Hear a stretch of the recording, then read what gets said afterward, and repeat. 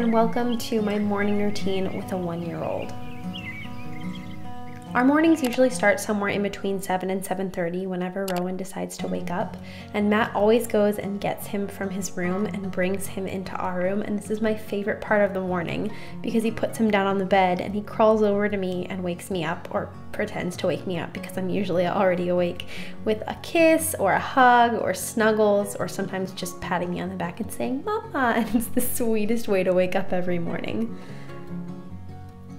Then I'll ask him if he's hungry, and of course, he always says yes. So I nurse him. We're still nursing in the morning and at night for now, although we do plan to wean fairly soon because he is starting to kind of lose interest in it. But for now, I'm soaking up all the sweet cuddles. I love this time with him in the morning. It's a great way to just kind of like get my morning started on a relaxing note and get to wake up gently. Then the three of us will all hang out in our bed for a little bit, usually about 10 or 15 minutes, and just play with Rowan. He'll bounce in between the two of us, and whoever's not currently entertaining him will try to get a little bit of extra rest. It's nice that he wakes up before Matt goes to work because we do have some time as a family all together before Dada has to start working on the computer and it's more of me and Rowan for the afternoon.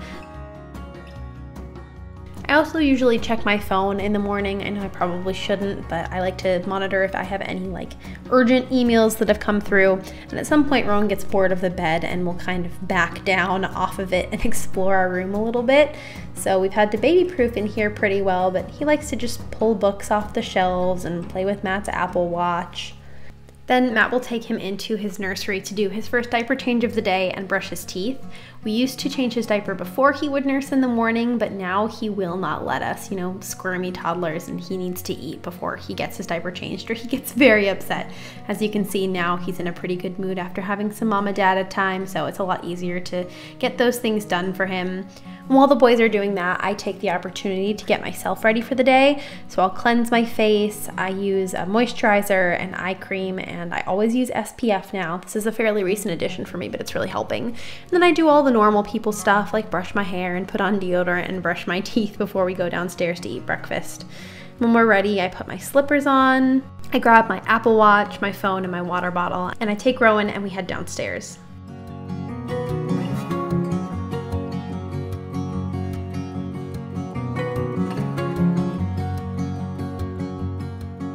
We always turn the fireplace on in the morning, pretty much first thing, because it's just so cozy in the colder months. And Rowan and I like to snuggle up on the couch for a few minutes, and I just kind of check in with him and have a little cuddle and ask him how his sleep was and hang out for a little bit because he just nursed, so he doesn't need breakfast quite yet. And I like to have a little bit of one on one time with him before we go and do that in the kitchen.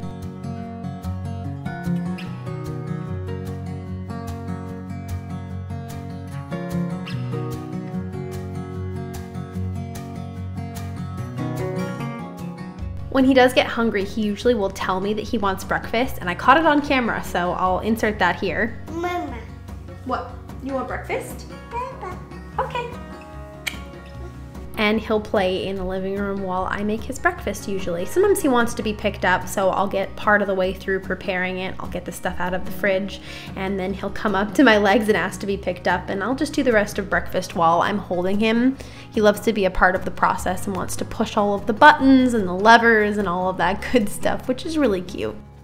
This morning we went for a pretty easy breakfast. I made toast for both of us. For myself, I did avocado toast with lemon and everything with the bagel seasoning from Trader Joe's. And for Rowan, I did peanut butter toast because he doesn't like avocado toast all that much. And I also had a side of raspberries for both of us. Gotta get some fruit in the boy. I'm still cutting his toast up with food scissors just because I feel like it's easier for him to eat. And of course, I also got him some water in his little silicone straw cup. Matt got him all put down in the high chair and got his bib on and said a little prayer with him. As you can see, he was already eating before Matt was even done doing that. This kid loves food and loves to eat, so he always really enjoys his breakfast. We usually do at least part of it eating together. Often I have to make my breakfast while he's eating his, but since we were doing pretty much the same thing this morning, we got to enjoy it together and hang out while Matt made coffee. I swear Matt makes better coffee than me. Like we do it the exact same way, same amount of ground, same amount of water, but for whatever reason, his comes out so much better.